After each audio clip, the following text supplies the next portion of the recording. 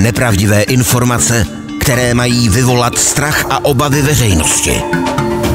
O neidentifikovatelné létající předměty se zajímaly i sovětské tajné služby. Konspirační teorie, rozvědky versus UFO. V pondělí večer na CS Mystery.